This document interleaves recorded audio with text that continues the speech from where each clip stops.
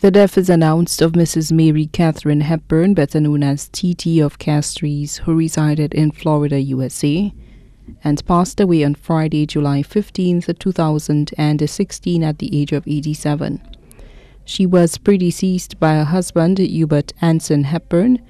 The celebration of the life of Mrs. Mary Catherine Hepburn, better known as TT, will be held at the Fountainhead Funeral Home and Cemetery on Babcock Street in Palm Bay, Florida on July 30th, 2016.